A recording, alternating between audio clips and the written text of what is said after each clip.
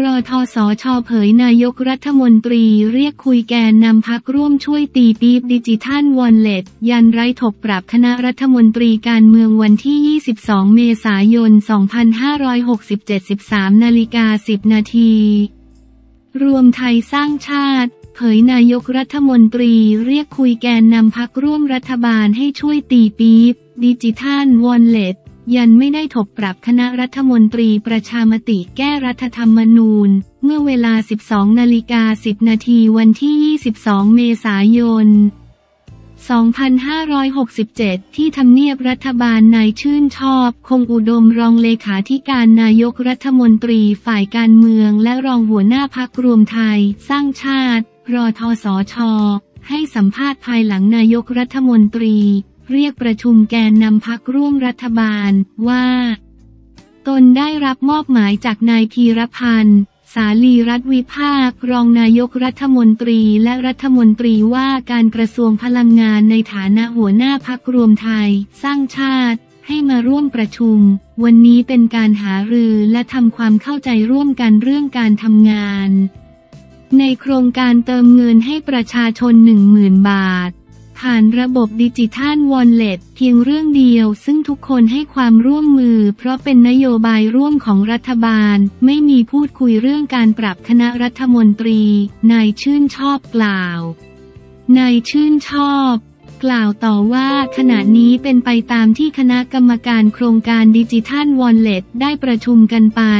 ทุกเรื่องอยู่ในขั้นตอนที่ถูกต้องตามกฎหมาย และเป็นสิ่งที่จะทำได้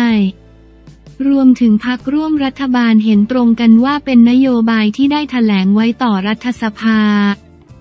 ฉะนั้นเป็นสิ่งที่ต้องทำอยู่แล้ว วันนี้จึงมาพูดคุยทำความเข้าใจกันว่า เราจะช่วยอธิบายกับประชาชนอย่างไรในฐานะพักร่วมรัฐบาล และได้ทำความเข้าใจกันเรื่องความถูกต้อง ซึ่งเห็นตรงกันว่าสิ่งที่ดำเนินการมีความถูกต้อง ในการหารือวันนี้พักร่วมรัฐบาลได้เสนอแนะให้มีการปรับปรุงให้ดีขึ้น ซึ่งคณะกรรมการดิจิทัลวอลเล็ตและรัฐมนตรีช่วยว่าการกระทรวงคลังทั้งสองคนรวมถึงทีมงานที่ทำเรื่องนี้ได้รับข้อเสนอแนะไปแล้ว นอกจากนี้ยังมีเรื่องการประชาสัมพันธ์โครงการให้ประชาชนเข้าใจ เนื่องจากยังมีประชาชนอีกจำนวนไม่น้อยที่ยังไม่เข้าใจถึงวิธีการ และหลักการของการเข้าร่วมโครงการดังกล่าวนายชื่นชอบคงอุดมรองเลขาธิการนายกรัฐมนตรีฝ่ายการเมือง และรองหัวหน้าพักรวมไทยสร้างชาติ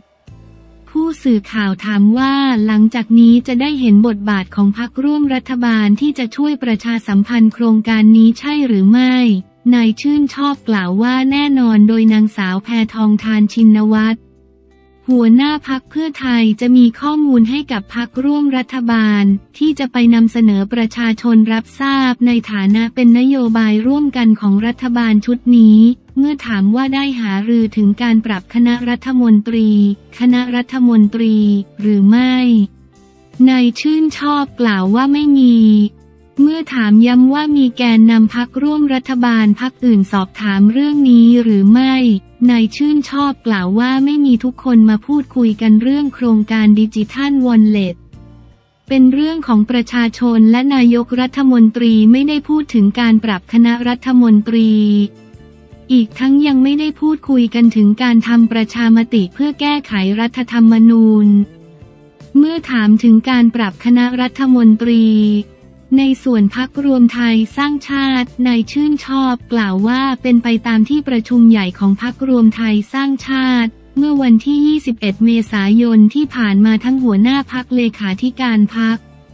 และรัฐมนตรีของพักก็ไม่ได้พูดคุยกันถึงเรื่องนี้เลย เพราะทุกคนมีหน้าที่ทำงานและต้องทำหน้าที่ให้ดีที่สุด โดยหัวหน้าพักพูดว่ายังไม่มีข้อมูลจากนายกรัฐมนตรีที่พูดถึงการปรับคณะรัฐมนตรี ยืนยันว่าทุกอย่างยังเป็นเหมือนเดิมสำหรับเรื่องปรับคณะรัฐมนตรียังไม่มีแต่อีกไม่นาน ถ้ามีก็คงรู้ตอนนี้ยังไม่มีการส่งสัญญาณอะไร นายชื่นชอบกล่าว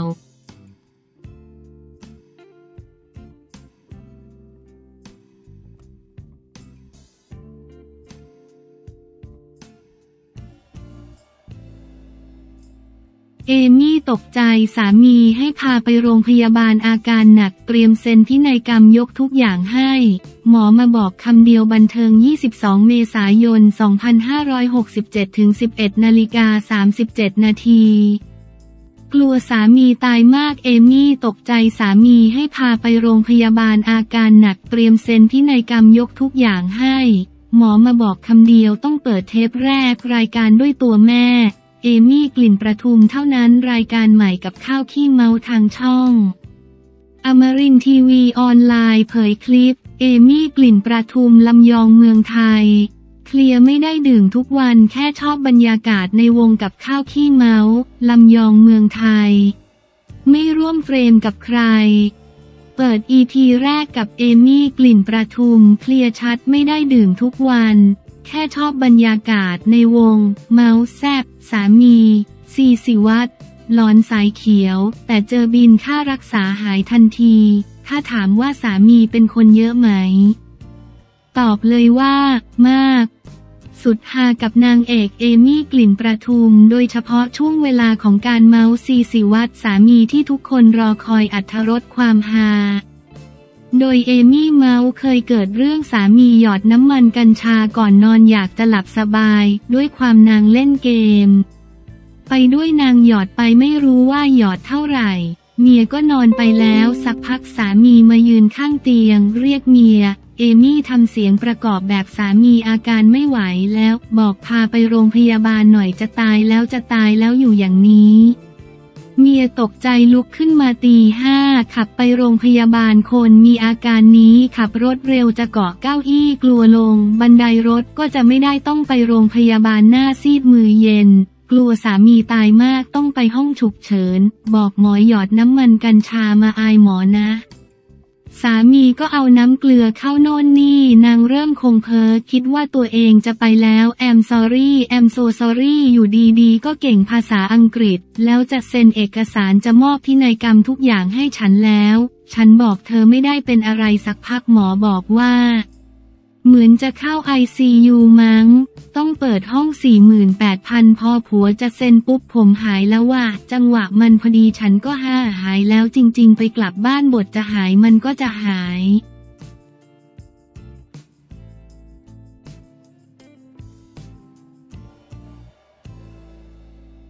ชาบี้ฉุนขาดลาลีกาไร้เทคโนโลยีโกลไลน์หลังเกิดจังหวะปัญหาศึกเอลกลาซิโกชาบี้เอร์นานเดซ ชี้เป็นเรื่องยากจะยอมรับที่ลาลีกาสเปนไม่มีเทคโนโลยีโกลไลน์หลังเกิดจังหวะปัญหาในเกม เอลกลาซิโก ที่พวกเขาพ่ายต่อเรอัลมาดริด โดยเกมเอลกลาซิโกที่บาร์เซโลนาบุกพ่ายเรอัลมาดริด 2-3 เมื่อวันที่ 21 เมษายนเกิดจังหวะปัญหาขึ้นในนาที 27 ที่ทั้งสองทีมเสมอกันอยู่ 1-1 เมื่อลามีนยามานแนวรุก เจ้าบุญทุ่มสกิดเปลี่ยนทางจากลูกเตะมุม ซึ่งบอลก้ากึ่งว่าจะเข้าประตูไปแล้วหรือไม่ก่อนที่ อังเรลูนินผู้รักษาประตู ราชันชุดขาว ปัดออกมา อย่างไรก็ตามสุดท้ายจากการที่ลาลีกาไร้เทคโนโลยีโกลไลน์ทำให้ไม่มีสัญญาณแจ้งเตือนว่าบอลเข้าประตูไปเต็มใบไปแล้วหรือไม่ซึ่งผู้ตัดสินก็ตัดสินใจไม่ให้เป็นประตู จากผลที่เกิดขึ้นทำให้บาร์เซโลนารองจ่าฝูงแทบจะหมดลุ้นแชมป์ลีกในซีซั่นนี้แล้วเนื่องจากปัจจุบันพวกเขามี 72 คะแนนจาก 31 นัดตามหลังเรอัลมาดริดจ่าฝูงถึง 11 คะแนนในจำนวนเกมเท่ากันหลังการแข่งขันชาบี้ออกโรงวิจารณ์เรื่องที่หลีกไม่มีการนำเทคโนโลยีดังกล่าวมาใช้ว่าเป็นเรื่องที่น่าอับอาย มันน่าอับอายถ้าเราอยากเป็นหลีกที่ดีที่สุดในโลก เราจะต้องก้าวหน้าในแง่นี้คุณต้องใส่เทคโนโลยีลงไป ทั้งนี้มีรายงานเพิ่มเติมว่าคาเบียเตบาส ประธานลาลีกา คือคนที่ไม่นำเทคโนโลยีดังกล่าวมาใช้เนื่องจากมองว่าการต้องลงทุนเพิ่มอีก 3 ล้านยูโร ราว 118.3 ล้านบาท นั้นเป็นค่าใช้จ่ายที่สูงเกินไป